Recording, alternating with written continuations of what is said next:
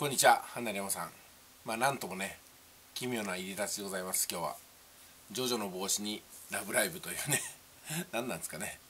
まあ、いろいろ私も購入してきたりなんだりしてますけども、今日ね、ちょっとお伝えしたいのは、まあ、金にこだわるってことで言えば、前回に引き続いてなんですけども、私ね、購入したものをね、積極的に YouTube で紹介するようにしてるんですよ。例えばね、最近買ったものは、このシェーバーです久しぶり数年ぶりにねこういったちゃんとしたシェーバー買いました。これね6枚刃のシェーバーなんですよ。ちょっと開けてみましょうか。これがね何ていう方だったかな。泉マクセルっていうね音楽のブランドの作っている、えー、やつなんですけどね。これがすごいですよ。ちょっと見てただこういうケースも入ってるんですけども6枚刃ってのが、ね、一体どういうことなのかっていうとこれですよ。ねこんなでかいんですよ。でかい。ね。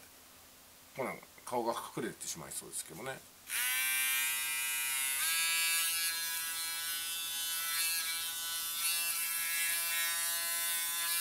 6枚ボタンも乗ると本当刃の一枚一枚が独立で左右前後に動くんですごくきめ細かくね肌に負担をかけないようにひげを剃ってくれるんですよ。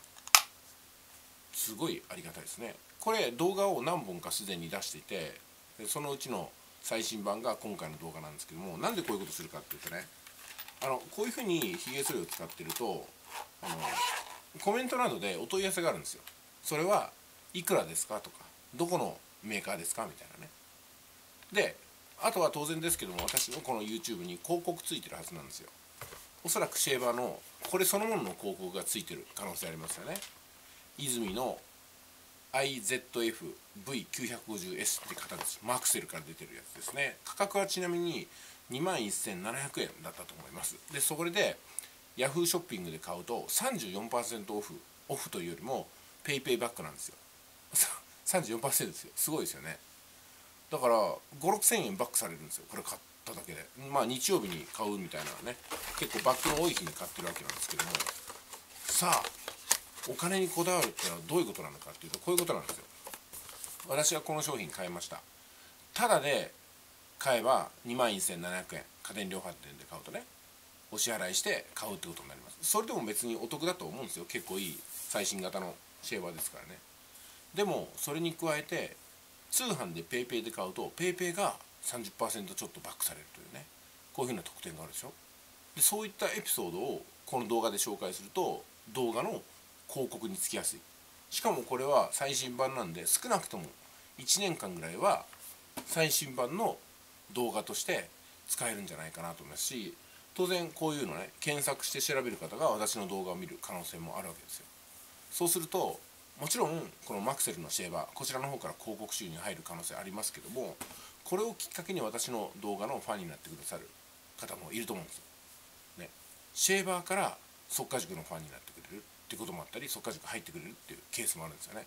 なんせ私はねパンを食ってて 熟成が増えるぐらいなんでいろんなところにね自分のこのチャンスを残しておきたいなと思いまして YouTube のネタにしてるわけなんですよ。これがまあ私の言う金にこだわるってやつですか？だから2万円で商品買っても2万円以上の売り上げをこの動画で作っていくっていう風な考えですね、まあ、だから買うもの何でもそうですけども全てね動画に出したいぐらいですね。ほとんど動画に出しました。例えばこういう風なねクリーム。こういうのね体に塗ってあのこう香りをちょっと演出するやつですね。これもそうですけどもね。その他あスマートフォンも新しく買ったら放送すると。とにかくだからただでお金を払うわけじゃない。だってあの起業してるってことはお金を使ったらなくなって終わりなんですよ。何もしなければ。だからお金を使ったよってエピソードを発信することによってそのエピソードもすでに次のキャッシュインにつなげていくかなっていうところですよね。だから常に放送で情報発信で元を取るっていう風な発想ですかね、うん。